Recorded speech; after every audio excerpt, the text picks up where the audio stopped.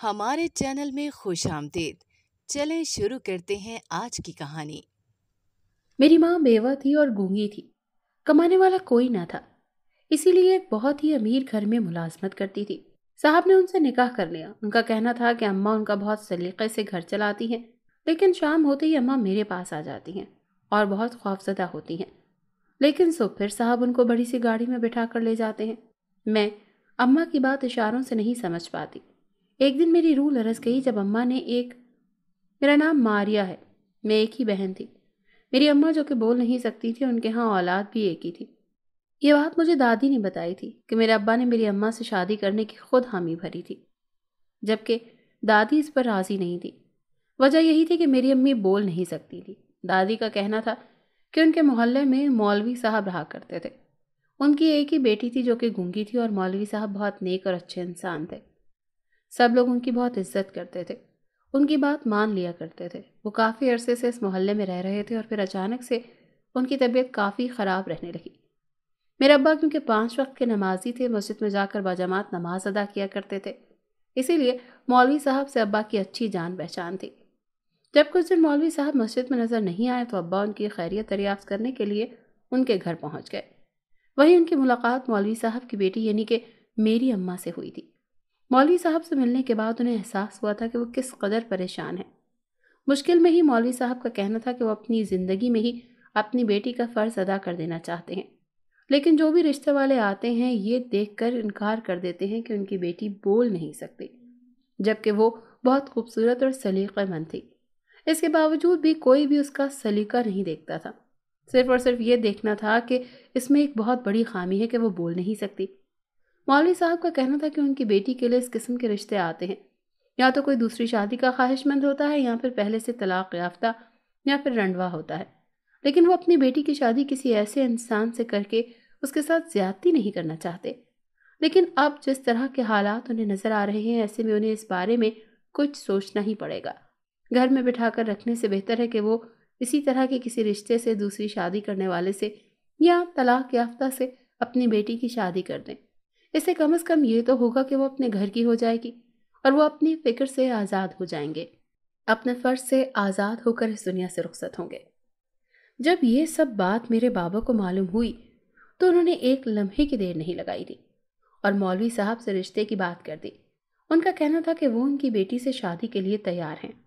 जब ये बात मेरी दादी को मालूम हुई तो उन्होंने इस बात पर काफ़ी हंगामा किया। मेरे अब्बा भी एक ही भाई थे और उनकी तीन बहनें थीं। बहनों ने भी इस बात पर शोर किया था कि एक ही भाई और वो भी एक गूँगी लड़की से शादी करने जा रहा है। जबकि उन सब के अपने भाई को लेकर बहुत अरमान थे। वो अपने भाई के लिए क्या क्या कुछ सोचकर बैठी हुई थी। जबकि अब्बा ने इरादा कर लिया था कि अब वो अपने फैसले से पीछे हटने वाले हरगिज नहीं थे। इस तरह सबकी मुखालफत के बावजूद भी अब्बा अपने फैसले से पीछे नहीं हटे थे। और उन्होंने शादी करने का फैसला कर लिया। जब दादी और पुप्पो ने यह देखा कि अब्बा अपनी बात से पीछे हटने के लिए तैयार नहीं है और उनके पास अब्बा के फैसले को मानने के अलावा कोई रास्ता नहीं है तो फिर उन्होंने भी अपना एहतजाज ख़त्म कर दिया और अब्बा की खुशी में खुश होकर शादी में शिरकत कर ली। इस तरह से मेरे अब्बा ने मेरी अम्मा से अपनी मर्ज़ी से शादी तो कर ली थी, लेकिन इसके बाद भी दादी और पुप्पो का रवैया अम्मी के साथ अच्छा नहीं रहता था। पुप्पो जब भी घर आती तो मेरी अम्मा को काफ़ी परेशान करती। वो अम्मा को बातों ही बातों में बातें सुनाया करती। जबकि माँ तो बोल नहीं सकती थी। ऐसे में उन्होंने क्या जवाब देना था? वो बस उनकी सारी बातें सुनकर खामोश रह जाया करती। वक्त इसी तरह से गुजर रहा था कि मेरी दादी का इंतकाल हो गया। और ये कहना बिल्कुल गलत नहीं होगा कि उनके इंतकाल के बाद हमारे घर में काफ़ी सुकून हो गया।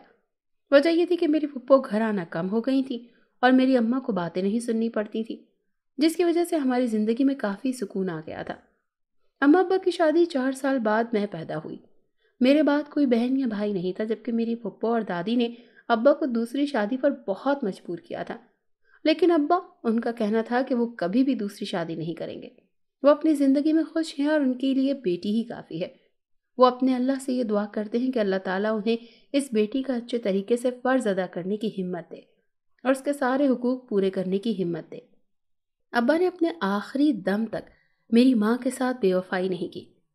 अपने रिश्ते को अच्छे तरीके से निभाया। मेरे अब्बा के गुर्दों का मसला था। उनके गुर्दे पूरी तरह से बेकार हो चुके थे। उनका बहुत इलाज करवाया, लेकिन डॉक्टरों का कहना था कि अब मज़ीद उनका इलाज नहीं हो सकता। मुझे आज भी याद है कि मेरे अब्बा काफ़ी दिन अस्पताल में रहे। वो बहुत तकलीफ़ में थे। इस तकलीफ़ में भी मेरी अम्मा ने उनका साथ नहीं छोड़ा। और फिर मेरे अब्बा हम दोनों को छोड़कर इस दुनिया से चले गए। अब्बा का ऐसे चले जाना मेरी माँ के लिए बहुत बड़ा सदमा था। वही मेरे लिए कम भी नहीं था। मैंने अपने अम्मा अब्बा को अपने आस पास देखा था। वो दोनों ही मेरी कुल कायनात थे। एक अब्बा ही तो थे, जिनके साथ मैं अपने दिल की सारी बातें किया करती थी। और अब वो भी मुझे तनहा छोड़कर चले गए। अब्बा की मौत को कुछ वक्त गुजर गया था। मेरी माँ की इद्दत पूरी हो गई। इसके दरमियान में जो पैसे पहले से जमा किए हुए थे, वही हम लोग इस्तेमाल कर रहे थे। लेकिन अब जबकि वो पैसे भी ख़त्म हो गए और घर चलाने के लिए कोई और ज़रिया भी नहीं था, क्योंकि ना तो मेरा कोई भाई था और ना ही कोई ऐसा जो हमारी मदद कर सकता। अब्बा के अलावा हमारा कोई नहीं था। हमारे घर में कमाने वाला कोई था ही नहीं। इसीलिए अम्मा ने कुछ सोचते हुए काम करने का फैसला किया। इतने अरसे में मुझे अपनी माँ की बातें समझ आने लगी थी। वो इशारे से मुझे अपनी बात समझा दिया करती थी और मैं बिना किसी मुश्किल के उनकी सारी बातें समझ लेती। अम्मा का कहना था कि जैसे कि वो बोल नहीं सकती थी, इसीलिए उनके लिए कोई भी काम करना आसान नहीं होगा। इसलिए एक ही काम सबसे ज़्यादा आसान है, वो ये कि अगर वो लोगों के घरों में काम करना शुरू कर दे, क्योंकि इसमें उन्हें ज़्यादा बोलने की ज़रूरत नहीं पड़ेगी, और वो आसानी से अपना काम ख़त्म कर लेंगी। मैं बिल्कुल नहीं चाहती थी कि मेरी माँ इस तरह किसी के घर में जाकर काम करे, लेकिन अब इसके अलावा हमारे पास और कोई रास्ता भी नहीं था, क्योंकि मैंने स्कूल अभी ख़त्म किया था, और अब मुझे कॉलेज पढ़ना था। मेरी तालीम इतनी ज़्यादा थी और ना ही अभी मेरी उम्र ऐसी थी कि मैं बाहर निकल कर कोई काम कर सकती। अम्मा ने मुझे सख्ती से मना किया था। उनका कहना था कि अब्बा ने मुझे बहुत लाड प्यार से पाला है। अब्बा इसी फ़िक्र में रहते थे कि वो किस तरह अपनी बेटी का फ़र्ज़ अच्छे तरीके से अदा करे। और ऐसे में मेरी अम्मा मुझे घर से बाहर भेज कर मेरे बाप के सामने शर्मिंदा नहीं होना चाहती थी। इसीलिए वो कुछ भी करके मुझे पालेंगी, लेकिन मुझे घर से बाहर जाने की बिल्कुल ज़रूरत नहीं है। उन्होंने मुझसे यही कहा था कि मुझे सिर्फ़ अपनी पढ़ाई पर ध्यान देना चाहिए, बाकी चीज़ें छोड़ देनी चाहिए, क्योंकि उनके लिए अभी वो मौजूद हैं। अम्मा ने दो तीन घरों में काम शुरू कर दिया। मेरी अम्मा का काम बहुत सलीके से था। ये बात भी अच्छी तरह से जानती थी कि जो भी हमारे घर आता, हमारे घर को देखकर देखता रह जाता। क्योंकि मेरी माँ बहुत ज़्यादा सफ़ाई पसंद और सलीक़ामंद खातून थी। हर चीज़ अपनी जगह पर मौजूद होती थी। ज़रा भी मिट्टी या गंद हमारे घर में नहीं था। मेरी दादी, मेरी पुप्पो मेरी अम्मा के लाख मुखालिफ सही, लेकिन इसके बावजूद भी मेरी अम्मा के सलीक़े की वो भी तारीफ़ किया करती थी। दादी के इंतकाल के बाद फिर भी पुप्पो कभी कभी चक्कर लगा लेती थी। लेकिन जब से अब्बा का इंतकाल हुआ था, उन्होंने तो जैसे हमें बिल्कुल ही नज़रअंदाज कर दिया था। उन्होंने तो जैसे हमारे साथ अपना रिश्ता ही ख़त्म कर लिया था। ना कभी हमारे घर आए और ना ही हम कभी उनके घर गए। मुझे तो वैसे भी उनके घर जाने में कोई ख़ास पसंद ही नहीं था। जबकि माँ को अपने कामों से ही फुर्सत नहीं थी। इसीलिए उनका भी कभी चक्कर नहीं लगता था। मेरी अम्मा दो तीन घरों में जाकर काम करती थी। इसकी वजह से पूरा दिन उनका घर से बाहर गुजरता और मैं पूरा दिन घर में अकेली रहती। ऐसे में अम्मा ने सोच लिया था कि वो एक ही काम करेंगी और जल्दी काम ख़त्म करके घर वापस आ जाया करेंगी, क्योंकि मुझे अकेला नहीं छोड़ सकती थी। मैंने अम्मी से यही कहा था कि मेरी फ़िक्र करने की ज़रूरत नहीं है। क्योंकि मैं बड़ी हो गई हूँ और अपना ख्याल खुद रख सकती हूँ। लेकिन मेरी अम्मा इस बात को मानने के लिए तैयार ही नहीं थी कि उनकी नज़र में मैं आज भी छोटी सी बच्ची थी, जिसे कोई भी काम नहीं आता और वो अपने हर काम के लिए अपनी माँ की तरफ़ देखा करती है। फिर मेरी अम्मा ने एक बड़े से बंगले में मुलाजमत शुरू कर दी। अम्मी ने मुझे बताया था कि जिस अमीर घर में अब वो जाती हैं, वहाँ पर काम के लिए अलग से मुलाजिम मौजूद हैं। अम्मा का कहना था कि घर में कोई औरत मौजूद नहीं है। मालिक एक मर्द है मेरी अम्मा पहले वहाँ पर काम करती थी। जब उस अमीर आदमी को अम्मा का सलीका बहुत पसंद आया तो उसने मेरी अम्मा को ये काम सौंप दिया था। उन्होंने सिर्फ़ घर के बाकी मुलाजमों के काम पर नज़र रखनी होगी और उनके घर को अच्छी तरह से सजाना होगा, जिसकी वो उन्हें अच्छी खासी तनख्वाह देंगे। इसके अलावा मेरी माँ को कोई और काम करने की ज़रूरत नहीं। एक तरह से मेरी अम्मा को उनके घर की देखभाल करनी थी, क्योंकि उनके घर में कोई औरत मौजूद नहीं थी। इसीलिए उन्होंने अम्मा को अपने घर की ज़िम्मेदारी सौंप दी थी। ये काम मेरी माँ के लिए बहुत आसान था और इससे पैसे भी अच्छे मिलते थे, जिनसे हमारा अच्छा गुजर बसर हो रहा था। मैं इस बात पर बहुत खुश थी कि मेरी माँ को ज़्यादा मेहनत नहीं करनी पड़ती, क्योंकि मैं खुद नहीं चाहती थी कि मेरी माँ बहुत ज़्यादा मेहनत करे या फिर ज़्यादा मेहनत वाला काम करे जिससे वो थक जाए। अम्मा अपने काम से जल्दी फारिग होकर घर भी आ जाया करती थी और हम काफ़ी सारा वक्त एक साथ गुजारा करते। माँ के चेहरे पर थोड़ी बहुत थकावट देखकर मैं ये सोचा करती थी कि काश मैं उनका बेटा होती और मैं उनके सारे मसाइल हल कर देती। मेरी अम्मा को कभी भी काम करने की ज़रूरत नहीं होती। एक दिन इसी तरह जब मेरी अम्मा अपने काम से वापस आई तो वो कुछ खोई खोई सी थी। उनके चेहरे को देखकर लग रहा था कि जैसे वो किसी सोच में डूबी हुई हैं। मुझे उनका चेहरा पढ़ना भी आ गया था और मैं अच्छे तरीके से अंदाज़ा लगा सकती थी कि अब वो किस सोच में है। जब मैंने उनसे इस बारे में पूछा तो उन्होंने कहा था कि ऐसी कोई बात नहीं है। सब कुछ ठीक है। अगर ऐसा था तो मुझे सब कुछ ठीक क्यों नहीं लग रहा था? वो दिन तो ऐसे ही गुजर गया, लेकिन अगले दिन से दोबारा जब अम्मा अपने काम से वापस आई तो दोबारा से किसी सोच में डूबी हुई थी। मुझे ऐसा लग रहा था जैसे मुझसे कोई बात करना चाहती हैं। मुझे कुछ बताना चाहती हैं, लेकिन बता नहीं पा रही। मैंने उन्हें हिम्मत दी थी और उन्हें इस बात पर इतमान दिलाया था कि जो भी बात है, मुझसे खुलकर कर सकती हैं। जब माँ का कहना था कि वो जिस अमीर घर में काम करती हैं, वहाँ के मालिक ने उन्हें निकाह के लिए कहा है। अम्मा का कहना था कि उनके मालिक को उनका सलीका बहुत पसंद आया है, इसीलिए वो उनसे निकाह करना चाहते हैं। अम्मा का कहना था कि उनकी बीवी का कुछ साल पहले इंतकाल हो गया। उनकी कोई औलाद नहीं है। ऐसे में वो अपने घर में अकेले रहते हैं। आगे पीछे कोई नहीं है और वो मेरी माँ से निकाह के ख्वाहिशमंद हैं। अम्मा का कहना था कि वो निकाह करना नहीं चाहती, लेकिन ये भी सोच रही हैं कि अगर उन्होंने उस शख्स से निकाह कर लिया तो इससे हमारे सारे मसले हल हो जाएँगे। अम्मा का कहना था कि उनको अपनी फ़िक्र नहीं है। वो मेरा मुस्तबिल बनाना चाहती हैं। ऐसे वो लोगों के घरों में काम कर कर के मुझे इतनी अच्छी ज़िंदगी नहीं दे सकती जितनी अच्छी ज़िंदगी वो मुझे ये शादी करके दे सकती हैं। मैं अम्मा की बात पर खामोश हो गई। अम्मा का कहना था कि मेरे मुस्तबिल के लिए बहुत ज़रूरी है कि हमारे हालात अच्छे हों। इसीलिए उन्होंने उस शख्स से निकाह करने का फैसला कर लिया। अम्मा का कहना था कि वह शख्स काफ़ी अमीर है और मेरी सारी ज़िम्मेदारी अच्छे तरीके से उठा सकता है। मैंने अम्मी से यही पूछा था कि, क्या वो आदमी ये बात जानता है कि मैं एक बेटी भी है आपकी?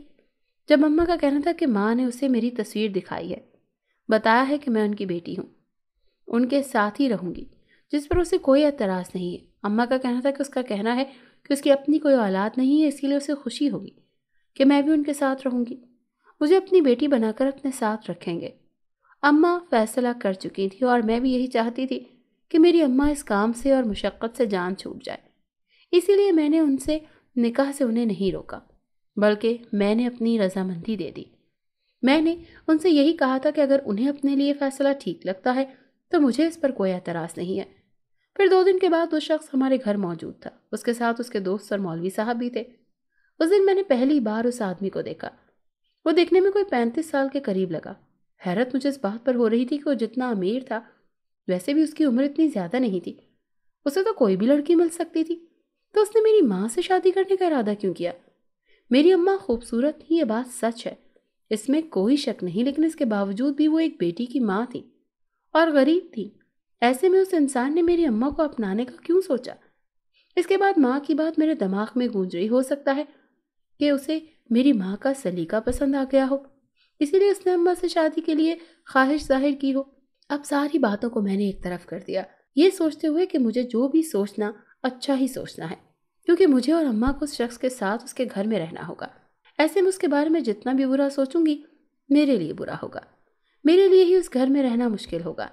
इसीलिए मैंने सारी मनवी सोचों को अपने दिमाग से निकाल दिया और खुशी खुशी उस निकाह में शिरकत की लिए राज़ी हो गई। निकाह होने के बाद उस आदमी ने मुझसे और अम्मा से ये कहा कि हम चाहें तो अपनी ज़रूरत का सामान ले सकती हैं और चाहें तो वैसे भी उनके साथ चल सकती हैं, क्योंकि उसके घर में ज़रूरत की हर चीज़ मौजूद है और जो सामान उसके घर में मौजूद ना हुआ, वो मंगवा देगा। लेकिन अम्मा ने इस बात पर इनकार कर दिया। उनका कहना था कि हम अपनी ज़रूरत का सामान अपने घर से ही लेकर जाएँगे।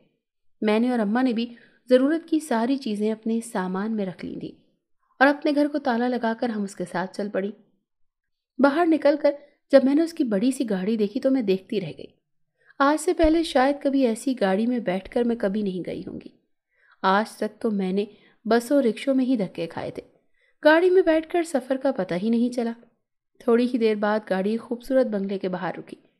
बंगला इतना खूबसूरत था कि मैंने आज से पहले ड्रामों में ही इस तरह के बंगले देखे थे। ऐसे इलाके में कभी नहीं गई थी, क्योंकि मैं हमेशा से अपने काम से काम रखती थी। अपने स्कूल से सीधा घर वापस आती और इसके अलावा मैंने कहीं जाना नहीं होता था। गाड़ी से उतरते ही फ़ौरन मुलाजमीन हमारा सामान अंदर ले गए और हम लोग उसके साथ चलते हुए घर के अंदर आए। वो बंगला जितना बाहर से खूबसूरत था, उससे कहीं ज़्यादा अंदर से खूबसूरत था।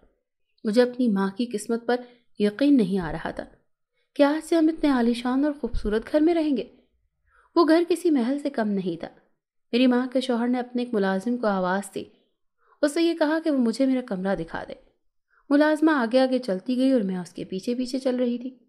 सीढ़ियों से गुजर कर उसने कमरे का दरवाज़ा खोला। वो कमरा इतना बड़ा था कि मैं यही सोच रही थी कि इतना बड़ा तो हमारा पूरा घर था, जितना ये कमरा था। इसमें ज़रूरत से ज़्यादा चीज़ें मौजूद थी। उस मुलाजमा का कहना था कि ये मेरा कमरा है।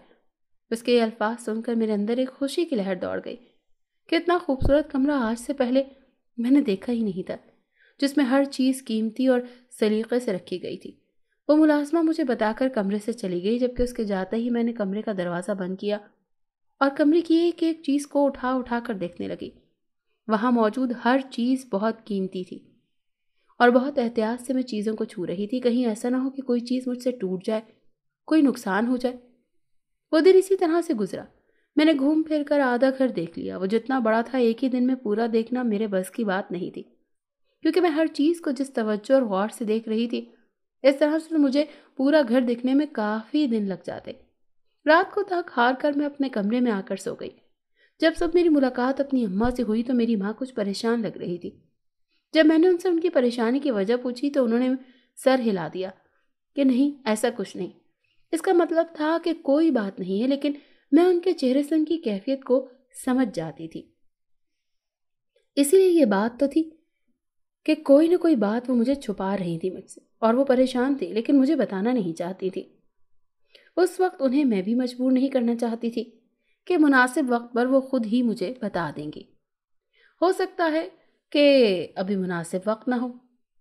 हो सकता है कि वो अपने घर की वजह से परेशान हो, क्योंकि जिस घर में हम रहते थे, वो मेरे अब्बा का घर था। उन्होंने बहुत मेहनत और मोहब्बत से बनाया था, जबकि मेरी अम्मा अब्बा से बहुत मोहब्बत करती थी। ऐसे में उनके लिए यहाँ आ जाना कोई आसान बात नहीं थी। मैं जानती थी कि मेरी अम्मी अपनी खुशी से इस घर में नहीं आई, बल्कि मेरे बल्कि मेरे अच्छे मुस्तकबिल के लिए उन्होंने ये फैसला किया था। मैं जानती थी कि वो दिल से खुश नहीं हैं, वो अपने इस पुराने छोटे से घर को याद कर रही थी। वो घर तो मुझे भी याद आता था, लेकिन मैंने अम्मा के सामने इस बात को ज़ाहिर नहीं किया। मैं नहीं चाहती थी कि मेरी बात सुनकर वो ये सोचें कि उनकी सारी मेहनत बेकार गई। कि वो मेरी खुशी के लिए सब कुछ कर रही हैं। इसीलिए मैं भी उन पर अपनी खुशी ज़ाहिर कर रही थी। उन्हें यह बता रही थी कि मैं बहुत खुश हूँ। मैं उन्हें यह बताना नहीं चाहती थी कि उनकी मेहनत और कुर्बानी रायगा नहीं गई। वाकई मैं बहुत खुश हूँ। दिन तो इसी तरह अपने काम में गुजर गया था। जब शाम हुई, इससे पहले कि मैं अपने कमरे का दरवाज़ा बंद करके सोने के लिए लेट जाती, अचानक अम्मा मेरे कमरे में दाखिल हुई। उन्होंने कमरे का दरवाज़ा बंद कर लिया। मुझे यही लगा शायद वो मुझसे कोई बात करने आई हैं। मुझे कुछ बताने आई होंगी, लेकिन जब मैंने उनका चेहरा देखा तो वो काफ़ी डरी हुई थी। जब मैंने उनसे कुछ पूछा तो उन्होंने मुझे सोने का कहा और मेरे पास बैठ गई। नींद तो मुझे भी नहीं आ रही थी, लेकिन जब अम्मा के पास बैठी रही और मेरे बालों में हाथ फेरती रही तो थोड़ी देर में मैं सो गई। जब नाश्ते के बाद साहब यानी कि मेरी अम्मा के शोहर नाश्ते से फारिग होकर अम्मा को अपने साथ बड़ी सी गाड़ी में बिठाकर साथ ले गए। जब अम्मा खामोशी से उनके साथ चली गई, पीछे मुझे अपना ख्याल रखने का कहा था। मैंने सोचा अम्मा साहब के साथ कहीं बाहर गई होंगी। वो जब वापस आएँगी तो मैं उनसे पूछूँगी कि वो कहाँ गई हैं। वापस आकर फिर उन्होंने मुझे कुछ नहीं बताया। इस तरह से चलता रहा, मेरी अम्मा शाम होते ही मेरे कमरे में आ जाती। उनके चेहरे पर खौफ और परेशानी होती, मगर वो मुझे सोने का कहती, जबकि खुद मेरे सराहने बैठकर मुझे सुलाने लग जाती। जब मैं उनसे पूछती तो चुप हो जाती, लेकिन एक दिन वो इशारे से मुझे कुछ बताना चाहती थी। उस दिन मुझे उनके इशारों की कुछ समझ नहीं आ रही थी कि वो क्या कहना चाहती हैं। आज से पहले वो मुझसे जो भी बातें करती थी, मैं समझ जाती थी, लेकिन आज शायद कोई ऐसी बात कहना चाह रही थी जो मेरे वहमो गुमान में भी नहीं थी। इसीलिए मुझे समझने में काफ़ी मुश्किल हो रही थी। बल्कि यूँ कहा जाए कि मुझे बिल्कुल भी उनके इशारों की समझ नहीं आ रही थी।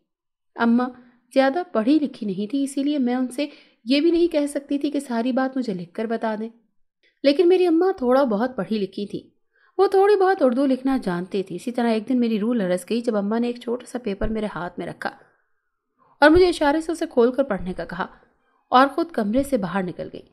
उनके जाते ही मैंने जल्दी से पेपर खोलकर पढ़ा जिस पर लिखा हुआ था कि अगर मैं सारी बात सच सुना चाहती हूँ तो मैं अम्मा के पीछे आकर उनके कमरे के बाहर छुप कर खड़ी हो जाऊँ। मैं जानती थी कि माँ पूरी मैं जानती थी कि माँ पूरी बात मुझे लिखकर बता नहीं सकती, इसीलिए उन्होंने मुझे समझने का ये मौका दिया और मुझे इतना सा इशारा दे दिया। मैं उनके कमरे के बाहर से आकर सच्चाई जान सकती हूँ। पेपर मैंने वहीं रखा और आहिस्ता से अपने कमरे से बाहर निकली। चुप चुप आकर मैं अपनी अम्मा और साहब के कमरे के बाहर खड़ी हो गई। अंदर से बोलने की आवाज़ें आ रही थी। अम्मा तो बोल नहीं सकती थी तो यकीनन उनके शौहर यानी साहब ही बोल रहे थे। और वो जो कह रहे थे उसे सुनकर आसमान मेरे सर पर गिर पड़ा। साहब का कहना था कि उसने मेरी अम्मा के सलीके या फिर उनसे मुतासर होकर उनसे शादी नहीं की। बल्कि इसके पीछे कोई और वजह है जो वो मेरी माँ को बता चुके हैं। उनका कहना था कि अगर मेरी अम्मा खुशी खुशी इस बात को मानने के लिए तैयार हैं तो वो मेरी माँ को, मुझे और हम दोनों को खुश रखेंगे। लेकिन अगर मेरी अम्मा ने उनके काम में दखल अंदाजी करने की कोशिश की तो वो मेरी अम्मा को रास्ते से हटाना अच्छी तरह जानते हैं। मुझे समझ नहीं आ रही थी कि साहब क्या काम करना चाहते थे, जिसके लिए उन्हें अम्मा की मदद की ज़रूरत थी, या फिर यूँ कहा जाए कि वो माँ को अपने साथ मिलाना चाहते थे। लेकिन मेरी माँ इस बात से इनकार कर रही थी। साहब का कहना था कि उन्होंने अम्मा से शादी मेरी वजह से की है। जब अम्मा ने अपने साहब को पहले दिन बताया था कि वो एक बेटी की माँ है, उस दिन ही उसने सोचा था कि मुझे देखने का, मुझे जानने को और फिर घर में बाकी मुलाजमीन से मेरे बारे में पूछा। जब अम्मा ने उन्हें मेरी तस्वीर दिखाई तो मेरी तस्वीर देखते ही उनकी नीयत में फतूर आ गया। साहब का कहना था कि उन्होंने दुनिया वालों के सामने शादी मेरी अम्मा से की है। क्योंकि वो अपने इर्द गिर्द के लोगों को ये दिखाना चाहते थे कि वो एक नर्म दिल और हमदर्द इंसान है, कि उन्होंने एक बेवा औरत को सहारा देने के लिए उससे शादी कर ली और एक यतीम बच्ची के सर पर हाथ रखा। इस काम की वजह से सब लोग उनकी इज़्ज़त और एहतराम की नज़र से उनको देखेंगे और उनका मकाम ऊँचा हो गया। इस वजह से उनके बिज़नेस में भी उन्हें काफ़ी फ़ायदा हुआ था कि लोग उन्हें इज़्ज़त की नज़र से देखने लगे थे। साहब का कहना था कि अगर वो मेरी माँ के बजाय मुझसे शादी करता तो शायद लोग उसे अच्छी तरह से नहीं देखते। उस पर उंगलियाँ उठाते कि उसने अपने से बहुत छोटी बच्ची से शादी कर ली है। इसीलिए अपना फ़ायदा देखते हुए उसने शादी की, मेरी अम्मा से। लेकिन उसकी नज़रें हमेशा मुझ पर थीं। ये मेरे लिए एक बहुत बड़ा सच था। अब मुझे ये बात समझ आई थी कि क्यों मेरी माँ परेशान रहती थी और हर रोज़ शाम होते ही मेरे कमरे में आकर दरवाज़ा बंद कर देती थी कि वो नहीं चाहती थी कि वो मुझे रात के वक्त अकेला छोड़े। और अब मुझे अम्मा की फ़िक्र और परेशानी की वजह अच्छे से समझ आ गई थी। और मैं फ़ौरन से अपने कमरे में वापस भागी। अब समझ आई थी कि उस इंसान ने इतनी आसानी से मुझे कबूल कैसे कर लिया। उसके पीछे उसकी ये नीयत थी। मुझे तो यकीन नहीं आ रहा था कि ऐसा भी हो सकता है। मुझे अपने कानों पर अभी तक यकीन नहीं हो रहा था कि मैं जिस इंसान को आज तक फरिश्ता समझती आई थी, हकीकत में वो फरिश्ता नहीं बल्कि शैतान था। मैं हमेशा लोगों को अच्छा समझती थी, लेकिन आज मेरे सामने लोगों की हकीकत खुलकर सामने आ गई थी। लोग इतने अच्छे नहीं होते जितना हम समझ लेते हैं। अब मुझे इस घर में डर लगने लगा था। दिल चाह रहा था कि मैं फ़ौरन से भाग जाऊँ। अभी थोड़ी देर गुजरी थी कि अम्मा मेरे कमरे में आई। उन्होंने कमरे का दरवाज़ा बंद कर दिया। मैंने अम्मा को बताया कि मैंने उनके शोहर की सारी बातें सुन ली हैं। जब अम्मा ने मुझे अपने साथ लगा लिया और हम दोनों माँ बेटी रोने लगी अम्मा का कहना था कि वो मुझसे माफ़ी मांगना चाहती हैं कि उनकी वजह से मैं इस मुश्किल में फंस गई हूँ। इसमें उनकी कोई गलती नहीं थी। उन्होंने तो मेरे अच्छे मुस्तकबिल के बारे में सोचा था। अब उन्हें क्या मालूम था कि ये सब हो जाएगा। वो रात जैसे तैसे गुजरी। अगले दिन दोबारा से मेरी अम्मा को उस आदमी ने अपने साथ चलने का कहा। अब मुझे इस बात का खौफ था कि आखिर वो अम्मा को अपने साथ लेकर कहाँ जाता था? क्योंकि पहले तो मैं ये समझ रही थी कि शायद वो अम्मा को अपने साथ वैसे ही कहीं बाहर लेकर जाता है। लेकिन जबकि मुझे उस आदमी की नीयत मालूम हो गई थी तो मुझे उस पर बिल्कुल भी यकीन नहीं रहा था। इसीलिए मैं छुप कर उस आदमी की बातें सुना करती थी। जब वो फ़ोन पर किसी से बात कर रहा था, उसका कहना था कि वो मेरी अम्मा को उनके घर अब काम के लिए छोड़ने नहीं आया करेगा। साथ उसका ये भी कहना था कि उसने अपने घर वापस भेज दिया है। इसीलिए आज के बाद उनके घर नहीं आया करेंगी। मुझे उसकी बात कुछ समझ नहीं आई। जब मैंने अम्मी से इस बारे में पूछा तो उन्होंने इशारे से मुझे समझाया कि वो आदमी उन्हें रोज़ सुबह अपने साथ ले जाता है और ले जाकर एक गोदाम में छोड़ देता है, जहाँ पर सारा दिन उनको काम करना पड़ता है। उस आदमी का कहना था कि वो फ्री में हम दोनों को नहीं पालेगा। इसके बदले में माँ को काम करना पड़ेगा। जबकि जब अम्मा ने उससे ये कहा था कि हम लोग अपने घर वापस चले जाएँगे, तभी उसने इस बात से इनकार कर दिया और यही कहा कि दोबारा अम्मा इस चीज़ का नाम भी ना लें।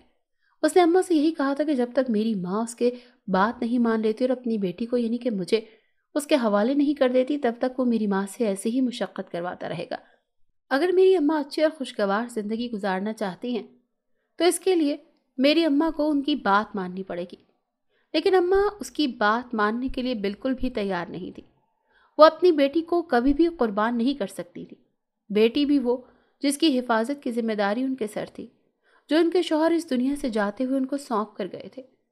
सारी बातें सुनने और समझने के बाद मैंने अम्मी से यही कहा था कि हमें इस घर से भाग जाना चाहिए। वो आदमी आसानी से हमें इस घर से जाने नहीं देगा। क्योंकि जिस मकसद के लिए उसने इतना सब कुछ किया था, वो अपने मकसद को पूरा किए बगैर कभी भी हमें यहाँ से जाने नहीं देगा।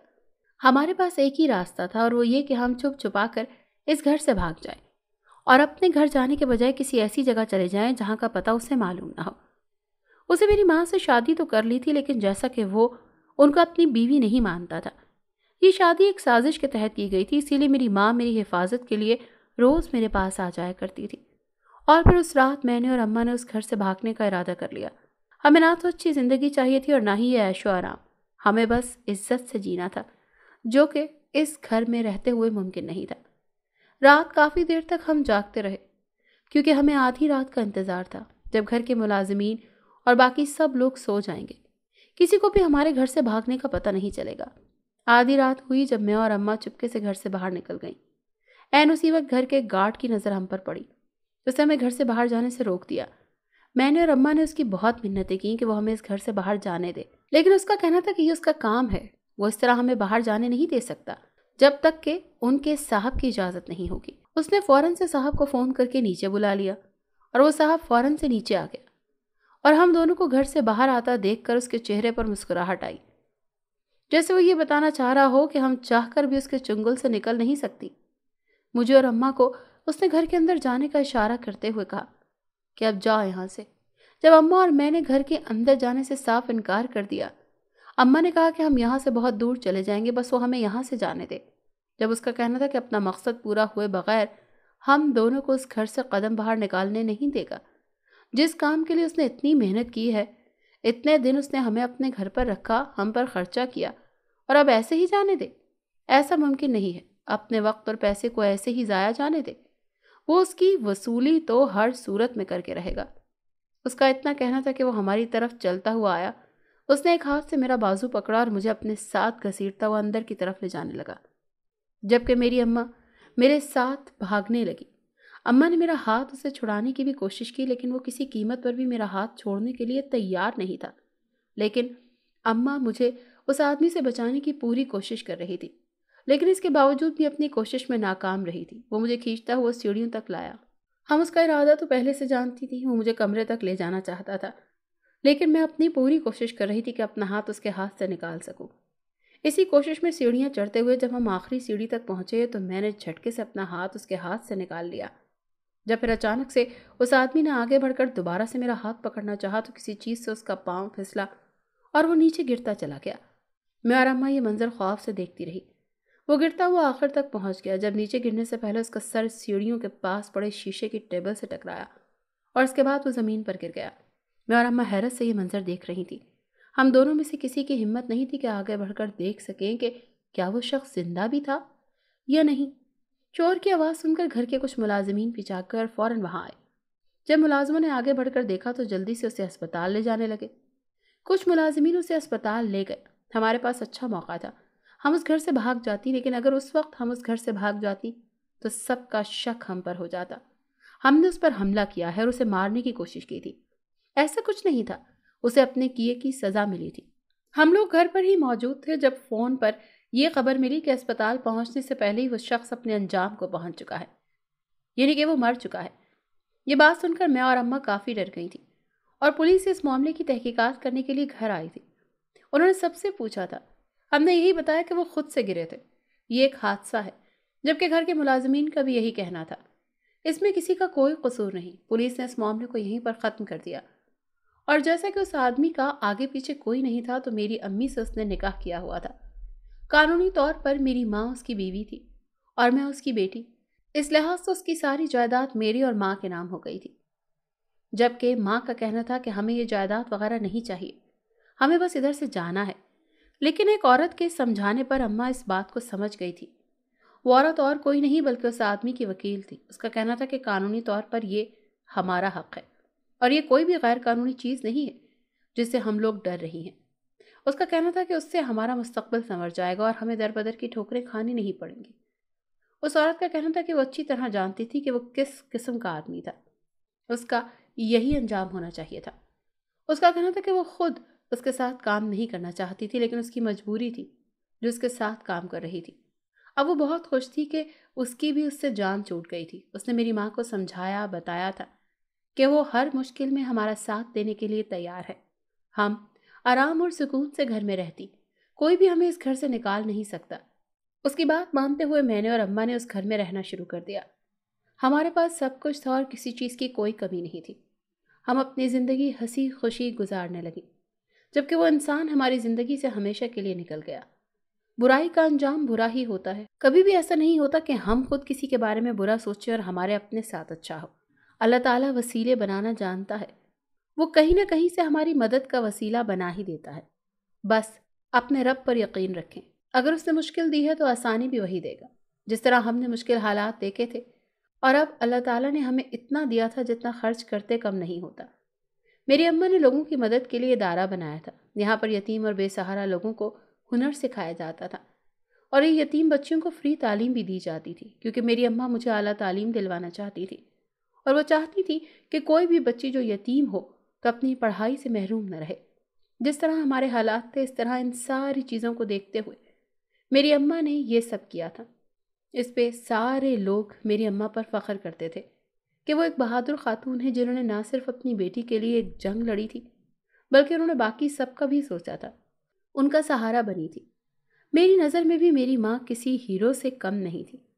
उन्होंने वाकई अपना फ़र्ज़ अच्छे तरीके से निभाया था। इसमें कोई शक नहीं था कि उन्होंने मेरे अब्बा से किया हुआ वादा पूरा कर दिया था।